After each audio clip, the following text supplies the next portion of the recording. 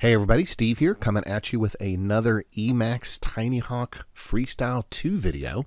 Do me a favor, if this is the first video of mine that you've bumped into, check the description below for a playlist that has a lot more videos on this incredible little quad. Stemming from some of my other videos, I've had a number of questions regarding the Tiny Hawk buzzer, and that is actually something that I didn't touch on in any of the other videos, so let's do it now. As always, in an effort to save time, and make the video as quick as possible and get you the information that you need. I'm just going to do all the data entry into OpenTX Companion. Um, I'm running OpenTX Companion 2.3.10. If you haven't done the update yet, got a video on that too. But let's move on.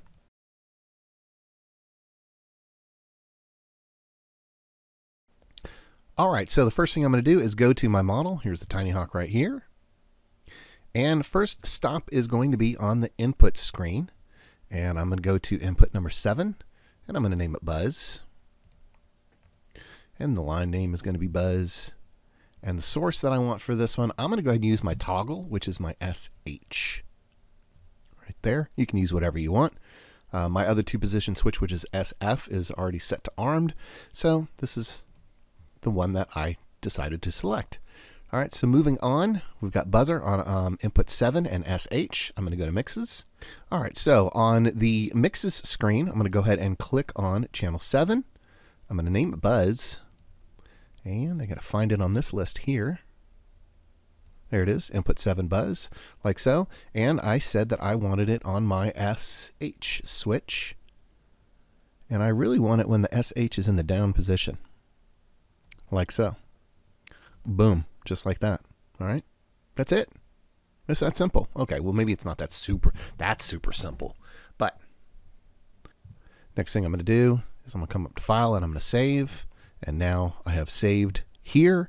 And then the next thing that I'm going to do is I'm going to push this information to my radio, which means, all right, so T4 and T1 together, give us some power, like so.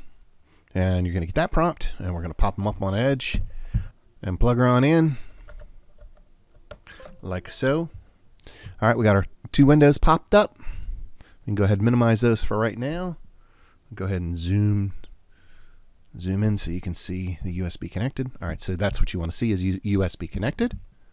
All right, so next thing I'm going to do is come up to read write, and I'm going to write it to the radio so that the information is there. Now the information should be on the radio. Pull the USB cord. Go to exit. All right, next thing I'm going to do is I'm going to go to model and page over. And there's my SH and then go to mixes. And if I come down, there's my SH. And if I put it in the down position, it should highlight. And it does. So that is good. I know it's working there. All right, so next step is to plug this little guy in, like so. And who noticed what I did here? Props off. Anytime I add uh, power to the quad, I take the props off. And you know what? With this little tiny hawk, maybe this guy's not going to hurt you very much. But when you start getting into um, five, six inch quads and bigger, you're going to want to have those props off. Just a safety thing. Trust me on that, please. I have spent the day at the emergency room, got hit by a 12 inch carbon fiber prop. All right, so now that it's plugged in, we can bounce over to Betaflight. We're going to go ahead and hit connect. And I'm going to go to the receiver page and just kind of test my receiver here. Everything's working. Now, when I throw my SH switch, you can see that my aux3 is going. That is my cue. So SH is connected to aux3. I'll move over to modes. And these are the modes that I've set up in previous videos.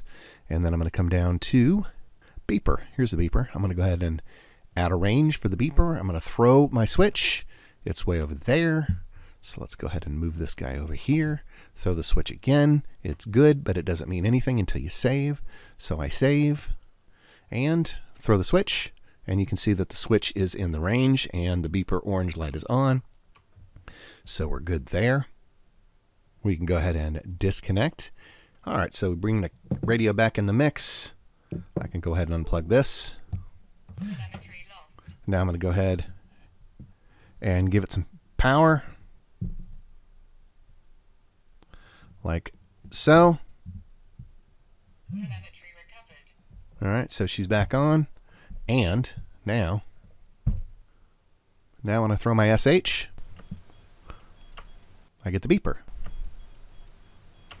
Uh, one of the questions was, um, can I use a switch, throw the switch and have it continuously beep? Um, I put it on SH, but when I hold it in the on position, it continues to beep.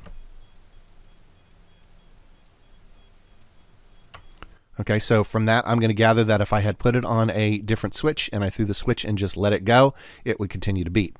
So hopefully that answers the question for that specific um, person. But setting up the beeper is pretty easy.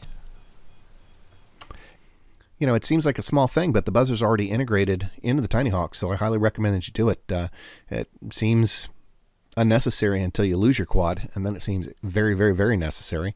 Uh, the beeper has saved my ass many, many, many, many times. All right, as Forrest Gump would say. And that's all I have to say about that. So I hope you enjoyed the video. I hope you got some benefit out of it. If you did, please like, comment, subscribe, hit the little bell so that you get notifications of future videos that come out. So if you really, really like the video, do me a favor, go out there, share on social media, tell somebody. Get somebody in the hobby because I'm going to tell you right now if you think flying is fun, it is way more fun when you're out there with a buddy. So I'm Steve signing off. See you in the next video.